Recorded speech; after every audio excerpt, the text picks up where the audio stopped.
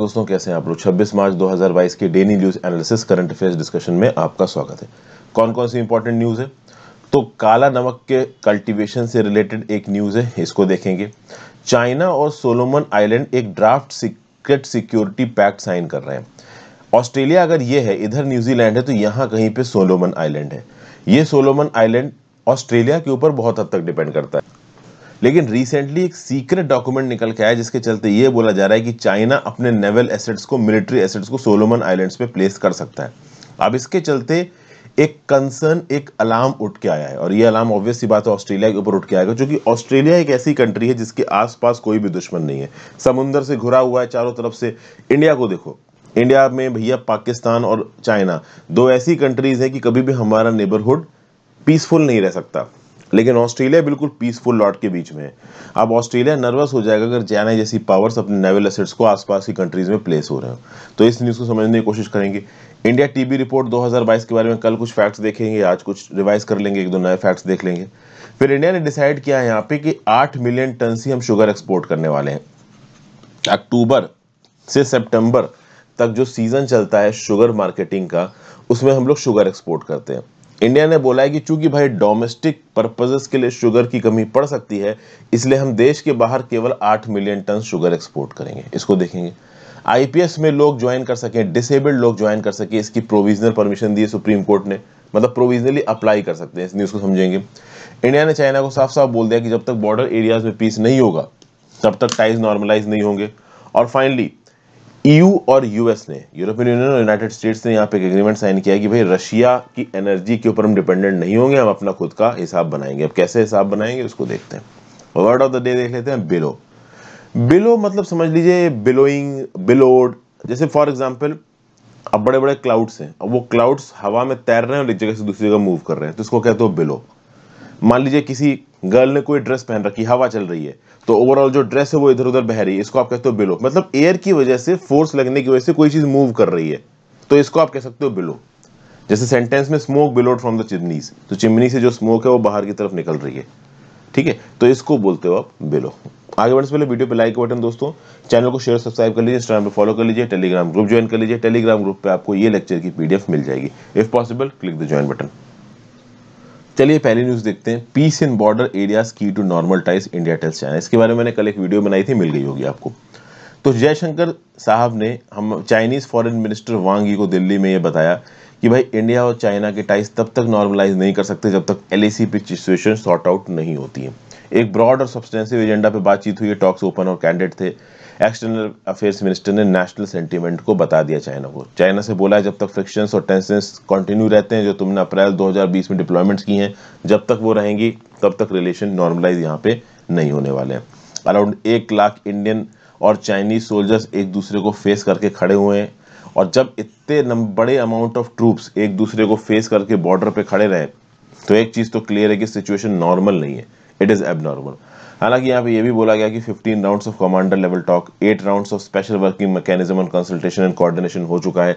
चीज़ें कुछ जगहों पे सॉर्ट आउट हुई हैं और कुछ जगहों पे सॉर्ट आउट होनी बाकी हैं। चाइना क्या कह रहा है कि तीन पॉइंट अप्रोच रखिए लॉन्ग टर्म विजन रखिए डेवलपमेंट एंड अपॉर्चुनिटी को देखो मल्टीलेटरल इश्यूज़ पे बात करो तो इस तरीके की बोल बच्चन बात चाइना कर रहा है और बॉर्डर इशू पर से ध्यान भटकाने की कोशिश कर रहा है। चाइना ने यहाँ पे ये भी बोला है कि चाइना इंडिया प्लस इनिशिएटिव्स को चालू करते हैं, जिसके चलते साउथ एशिया में इंडिया चाइना मिलकर ज्वाइंट प्रोजेक्ट्स को एग्जीक्यूट करेंगे। इसके ऊपर बातचीत तब हुई थी जब मोदी जी वुहान गए थे और जी जिनपिंग से मिले थे। चाइना ने बोला कि हम यूनिपोलर एशिया नहीं चाहते, हम इंडिया के रोल को रिकॉग्नाइज करते हैं। चाइना इस बात को जानता है कि यूनिपोलर एशिया हो भी नहीं सकता जब तक इंडिया ऐसी पावर बगल में है। चाइना की अकेले बादशाहत नहीं चल सकती। नो डाउट उनका ट्रेड में मिलिट्री पावर में एक अपर हैंड है बट वो अपर हेड इतना नहीं है कि वो इंडिया को पूरी तरीके से साइड स्टेप कर दें। उसके बाद क्या बताया जा रहा है कि border issue should be put in its proper place in bilateral relation मतलब चाइना ये बोल रहा है कि बॉर्डर इश्यूज़ को साइड में रखो, बातचीत उसके ऊपर होती रहेगी। और बाकी ओवरऑल डेवलपमेंट बायोलेटरल रिलेशनशिप का होना चाहिए, उस पर फ़र्क नहीं आना चाहिए। तो ये तो बड़ी अजीब सी बात है, क्योंकि यही चाइना जब यूएसए के साथ इंगेज करता है तो चाइना यूएसए से बोलता है कि भाई ताइवान के इशू पर मत बोलो। ताइवान के इशू को साइड रख दो। ठीक है, जब तक तुम ताइवान के इशू पे बकवास करोगे, तब तक नॉर्मल रिलेशन नहीं रख सकते। ये चाइना यूएसए को बोलता है।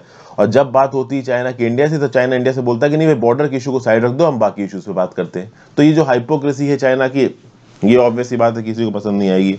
फिर कल की वीडियो में आपको ये बताया था कि मिस्टर वांगी ने डोवाल को बोला कि इंडिया आइए सॉरी चाइना आइए डोवाल ने बोला कि चाइना तब तक नहीं आ सकता मैं, जब तक इमीडिएट इश्यूज़ को आप रिजोल्व नहीं करते। ऑब्वियसली बात है, कोई भी बायोलेटरल विज़िट हमारे हेड ऑफ़ स्टेट द्वारा चाइना में नहीं होगी।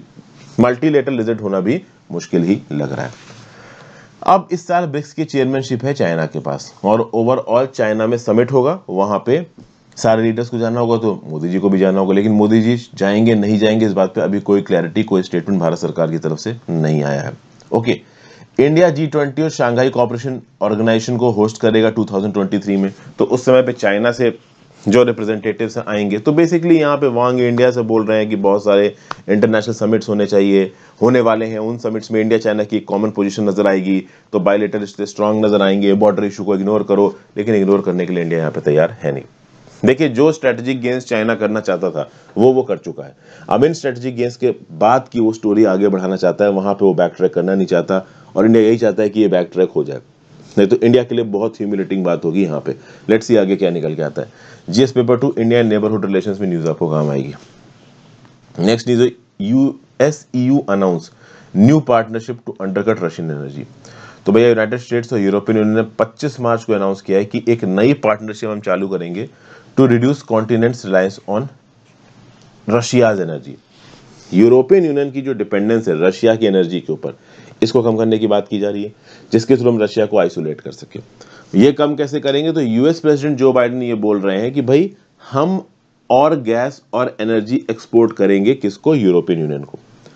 यूएस प्रेसिडेंट जो बाइडेन ने साफ़ साफ़ बोला है कि जो रशिया का प्रेसिडेंट है व्लादिमीर पुतिन, ये अपने एनर्जी एक्सपोर्ट के दम पे यूरोपियन यूनियन के ऊपर धाक जमाते हैं और इससे जो पैसा कमाता है रशिया, उससे वो अपनी वॉर मशीन चलाता है। तो मिस्टर बाइडेन ने बोला कि हम यूरोपियन यूनियन के साथ पार्टनरशिप के लिए तैयार हैं। हम जितना ज़्यादा हो सकेगा, एनर्जी एक्सपोर्ट करेंगे यूरोपियन यूनियन को ताकि यूरोपियन यूनियन की डिपेंडेंस रशिया के ऊपर कम हो। अब यहाँ पे दो तीन इश्यूज़ निकल के आते हैं। यूएस जिस दाम पे एनर्जी एक्सपोर्ट करेगा यूरोपियन यूनियन को, उससे कहीं कम दाम पे यूरोपियन यूनियन रशिया से एनर्जी इंपोर्ट करता है, पहली चीज़। दूसरी बात ऑलरेडी यूएस अपने एनर्जी एक्सपोर्ट को बहुत हद तक हटा चुका है, अपने नेचुरल गैस एक्सपोर्ट्स को बहुत हद तक हटा चुका है। मतलब ऑलरेडी यूएस एक बड़ी क्वांटिटी में नेचुरल गैस के एक्सपोर्ट लिक्विफाइड नेचुरल गैस के एक्सपोर्ट यूरोप में कर रहा है। अभी के लिए प्लान ये बताया गया कि इस साल नॉर्मल से 15 बिलियन क्यूबिक मीटर हम ज़्यादा एक्सपोर्ट करेंगे, ऐसा यूएस का बोलना है। ठीक है? तो जितने भी यूएस और उसके अलॉयज हैं, वो यूरोप को ज़्यादा नेचुरल गैस एक्सपोर्ट करेंगे ताकि रशिया से यहाँ पे कम मंगानी पड़ जाए।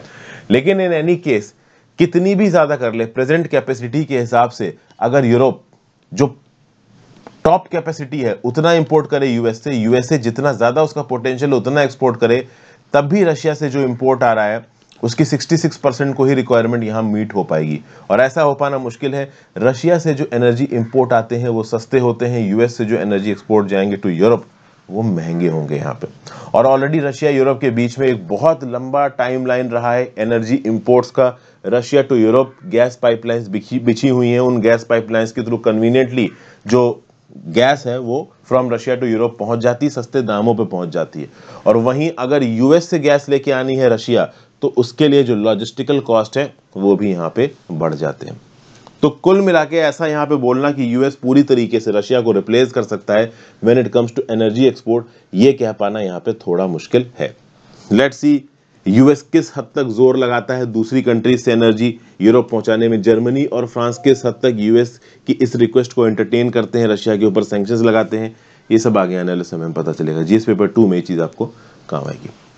फिर अगली न्यूज़ है Supreme Court allows people with disabilities to opt for IPS provisionally देखिए, जो फ़िज़िकल चैलेंज कैंडिडेट्स हैं, आपको पता होना चाहिए कि इंडियन पुलिस सर्विसेज़ में रेलवे प्रोटेक्शन फोर्स में, Delhi, Andaman and Nicobar Island police services में दैनिप्स में फिजिकली चैलेंज लोग ज्वाइन नहीं कर सकते। तो इस बात को लेकर एक डिसेबल्ड राइट ऑर्गेनाइजेशन है।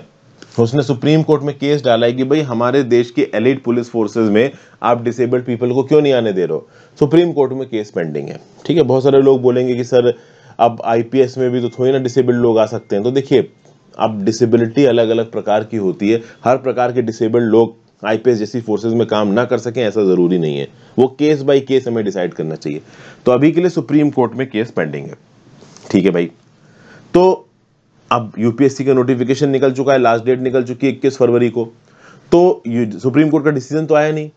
तो यहाँ पे कुछ पेटिशनर्स ने सुप्रीम कोर्ट से बोला कि, सर, इस साल जो एग्ज़ाम दिया जा रहा है, उसमें आप आईपीएस कैंडिडेट्स को प्रोविजनली मतलब इस साल जो डिसेबल्ड कैंडिडेट्स हैं, उनको प्रोविजनली आईपीएस के लिए आप कंपीट करने दो। हर साल क्या होता है कि जो डिसेबल्ड बच्चे हैं, वो आईपीएस के लिए कंपीट नहीं कर पाते रेलवे प्रोटेक्शन फोर्स के लिए कंपीट नहीं कर पाते दानिफ्स के लिए कंपीट नहीं कर पाते। सुप्रीम कोर्ट में केस डाल दिया। अब सुप्रीम कोर्ट का केस रिज़ल्ट अभी आया नहीं। तो जब तक सुप्रीम कोर्ट के केस का रिज़ल्ट नहीं आ जाता, तब तक प्रोविजनली अप्लाई करने दो। इनको अप्लाई करने दो, बाद में सुप्रीम कोर्ट के डिसीज़न के सब्जेक्ट में यहाँ पे डिसाइड कर लेंगे कि हाँ भाई इनको आईपीएस मिलेगा। या नहीं मिलेगा, या उसके बाद की कोई पोस्ट मिलेगी।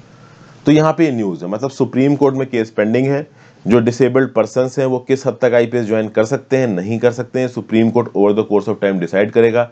तब तक सुप्रीम कोर्ट ने परमिशन दे दी कि डिसेबल्ड लोग आईपीएस के लिए प्रोविजनली अप्लाई कर सकते हैं। एक बात। दूसरी बात यहाँ पे, जो लोग कोविड 19 मेंस के एग्ज़ाम में कोविड 19 की वजह से अफेक्ट हुए थे, वो यहाँ पे एक एक्स्ट्रा अटेम्प्ट की डिमांड कर रहे हैं। लेकिन केंद्र की सरकार ने और यूपीएससी ने यहाँ पे इन्फॉर्म किया कि देखिए, हम एक एक्स्ट्रा अटेम्प्ट नहीं दे सकते हैं।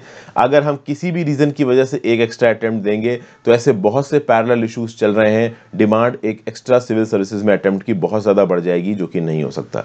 अभी के लिए सिविल सर्विस एग्जामिनेशन की एज इक्कीस से बत्तीस साल है जनरल कैटेगरी के कैंडिडेट के लिए। कुछ रिलैक्सेशन से रिज़र्व कैटेगरी कैंडिडेट्स के लिए छह अटैम्प्ट मिलते हैं जनरल कैटेगरी कैंडिडेट को, कुछ रिलैक्सेशन से रिज़र्व कैटेगरी के लिए। यही नॉर्म यहाँ पे रहने वाला है। ये जो बोल रहे हैं कि भाई नहीं, आप एक एक्स्ट्रा अटेम्प्ट दे दो, ठीक है, इस तरीके की डिमांड्स को हम एंटरटेन नहीं करना चाहते हैं। क्लियर कट यहाँ पे यूपीएससी की तरफ़ से भी क्लैरिफिकेशन आ रहा है और केंद्र सरकार की तरफ़ से भी क्लैरिफिकेशन आ रहा है। जीएस पेपर टू में न्यूज़ आपको काम आएगी। अगली न्यूज़ है प्रमोटिंग कल्टीवेशन ऑफ़ काला नमक पैडी राज्यसभा में रिप्लाई की तरह ये चीज़ बताई गई अभी देखते हैं।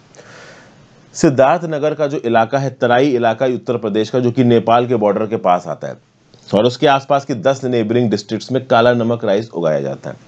काला नमक राइस नॉर्मल राइस से अलग है। एक सेंटेड राइस वेराइटी और मार्केट में ज़्यादा दाम पे बिकता है तो उत्तर प्रदेश में वन डिस्ट्रिक्ट वन प्रोडक्ट के अंदर काला नमक राइस के कल्टीवेशन को प्रमोट किया है। और रिसेंटली उत्तर प्रदेश की सरकार ने 12 करोड़ रुपए भी अलोकेट किए काला नमक राइस के लिए। यहाँ पे बेसिकली इस आर्टिकल में, इस न्यूज़ में मैं आपको यही बता रहा हूँ कि काला नमक राइस को प्रमोट करने के लिए क्या क्या स्टेप्स लिए गए तो ओडीओपी में इसको उत्तर प्रदेश की सरकार ने प्रमोट किया, बारह करोड़ रुपए अलोकेट किए। फिर APEDA agriculture and processed food export export development authority इसने बहुत से इनिशिएटिव्स लिए काला नमक राइस के एक्सपोर्ट को प्रमोट करने के लिए। जैसे फार्मर्स और स्टेक होल्डर्स की कैपेसिटी बिल्डिंग करना agri export farming Kala Namak महोत्सव ऑर्गेनाइज करवाना फार्मर प्रोड्यूसर्स ऑर्गेनाइजेशन के साथ कोऑर्डिनेट करना, बाहर की कंट्रीज़ में फॉरेन कंट्रीज़ में काला नमक की वैरायटी को मार्केट करना, ताकि लोगों को वो पसंद आए और वो उसके इंपोर्ट ऑर्डर्स प्लेस करें फॉरेन कंट्रीज़ में। फिर बहुत सारे रिसर्च इंस्टीट्यूट भी यहाँ पे इन्वॉल्व हैं। Indian Council of Agriculture Research फिर Indian Institute of Rice Research Hyderabad National Rice Research Institute Cuttack Indian Agriculture Rice Institute New Delhi ये सब कहीं ना कहीं काला नमक राइस के ऊपर रिसर्च एंड डेवलपमेंट कर रहे हैं उत्तर प्रदेश की सरकार के साथ मिलकर ताकि काला नमक राइस की वेराइटी को और एफिशिएंट किया जा सके और उसकी ईल्ड बढ़ाई जा सके और उसको इंटरनेशनल मार्केट्स में और डोमेस्टिक मार्केट्स में बेचा जा सके, उसकी प्रोडक्टिविटी बढ़ाई जा सके, उसका न्यूट्रिएंट लोड बढ़ाया जा सके। अगर देखा जाए तो national food security mission rice जो चला रही है केंद्र की सरकार 193 डिस्ट्रिक्ट्स 424 स्टेट्स में इसके अंदर भी काला नमक राइस के प्रोग्राम को एक पुश किया जा सकता है।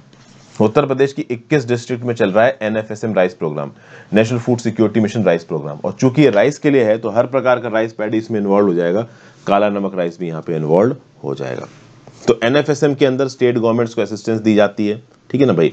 कैसे हाई एल्डिंग वेराइटी के सीड्स को उगाया जाए क्रॉपिंग सिस्टम कैसा किया जाए कौन कौन सी फार्म मशीनरीज को इस्तेमाल करना है न्यूट्रिएंट और पेस्ट मैनेजमेंट कैसे करना है प्रोसेसिंग और पोस्ट हार्वेस्ट कैसे करना है, ये सब कुछ का असिस्टेंट केंद्र सरकार की तरफ़ से और राज्य की सरकार की तरफ़ से अंडर एनएफएसएम दिया जाता है।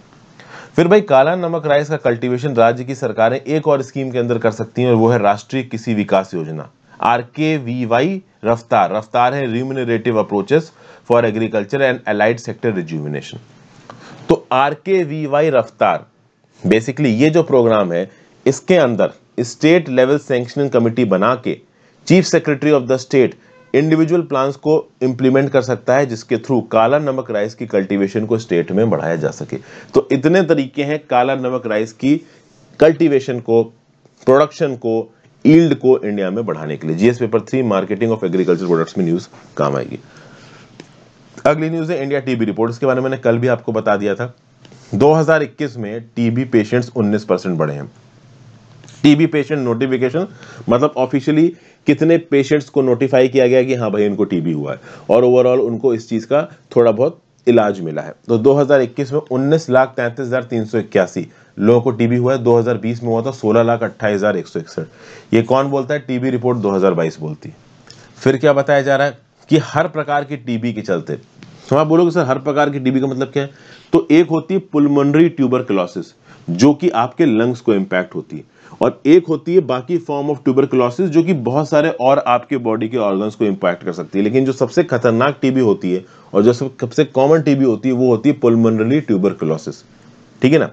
लेकिन सिर्फ़ लंग को ही नहीं इफ़ेक्ट करती टीबी कुछ केसेस में टीबी दूसरे ऑर्गन्स ऑर्गन्स को भी इफ़ेक्ट करती है। तो हर प्रकार की टीबी इसी की वजह से मौतें 2019 से लेकर 2020 के बीच में 11 प्रतिशत बढ़ी हैं। Total number of estimated TB related deaths 2020 में थी चार लाख तिरानवे हज़ार, जो कि 2019 से 13 प्रतिशत ज़्यादा है। ठीक है ना? 2019 में टीबी रिलेटेड केसेस 11 प्रतिशत बढ़े हैं। तो ओवरऑल आप टीबी रिलेटेड केसेस के रिस्पेक्ट में देख सकते हो कि काफ़ी अच्छी इन्फॉर्मेशन यहाँ पे दी गई है। 2020 में जो टीबी रिलेटेड केसेस हैं, वो 38 परसेंट कम हुए हैं। अब 2020 में क्यों कम हुए थे, इसको आपको पता ही है। देखो, जनवरी, फरवरी में कोविड आया नहीं था।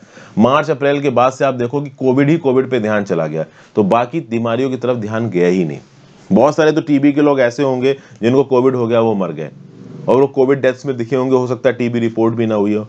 कुल मिला के 2020 में कोविड पैंडेमिक के चलते टीबी नोटिफिकेशन, टीबी रिपोर्टिंग इन सब चीज़ों के ऊपर इम्पैक्ट आया। टीबी नाम की बीमारी और खतरनाक तब हो जाती है जब individual malnutrition HIV diabetes alcohol tobacco smoking जैसी प्रॉब्लम से गुजर रहा हो। 2020 में जितने भी नोटिफाइड पेशेंट्स थे, जिनको ट्रीटमेंट मिला टीबी का 83 परसेंट बच गए, लेकिन 4 परसेंट यहाँ पे सर्वाइव नहीं कर पाए, ये चले गए दुनिया छोड़ के। जितने भी लोग टीबी से सफ़र करते हैं, उसमें 61 परसेंट मेल्स हैं और 39 परसेंट फीमेल्स हैं। टोटल पीडियाटिक कैटेगरी में आते हैं 6 परसेंट मतलब अगर 100 लोगों को टीबी हुआ है तो 6 उसमें बच्चे होंगे। ओके 2021 की बात की जाए तो 2021 में इंडिया में टीबी पर वन लाख पॉपुलेशन 312 था। दिल्ली में पर वन लाख पॉपुलेशन सात था। गुजरात में पर वन लाख पॉपुलेशन 137 था, एक सौ सैंतीस। वहीं पर अगर 2020 की बात करो तो पर वन लाख पॉपुलेशन 188 था ऑल इंडिया ठीक है? अब समझिए 2020 में per one lakh population all India एक सौ अट्ठासी और 2021 में 312 ये फ़र्क क्यों है? फ़र्क इसीलिए है क्योंकि 2020 में कोविड 19 के पैंडेमिक के चलते टीबी पे ऊपर उतना ध्यान गया नहीं पब्लिक हेल्थ का। हो सकता है टीबी केसेस की रिपोर्टिंग कम हुई हो, इसलिए नंबर कम दिख रहा है। जीएस पेपर टू हेल्थ में न्यूज़ आपको काम आएगी। फिर इंडिया ने यहाँ पे डिसाइड किया कि आठ मिलियन टन से हम एक्सपोर्ट करेंगे शुगर एक्सपोर्ट पहली बार छह साल में डोमेस्टिक प्राइसेस को कंटेन करने के लिए और डोमेस्टिक डिमांड को मीट करने के लिए भारत सरकार ने प्लान किया है कि शुगर का एक्सपोर्ट इंडिया से केवल आठ मिलियन टन होगा। असल में दुनिया का सबसे बड़ा एक्सपोर्टर है शुगर का ब्राज़ील। ब्राज़ील के शुगर एक्सपोर्ट्स हो गए हैं कम। प्लस दुनिया भर में चूँकि तेल के दाम बढ़ रहे हैं तो जो शुगर केन शुगर बनाने में इस्तेमाल होता है, उस शुगर केन से बहुत सी कंट्रीज़ इथेनॉल बना रही हैं। तो शुगर केन की अवेलेबिलिटी शुगर बनाने के लिए हो गई है कम।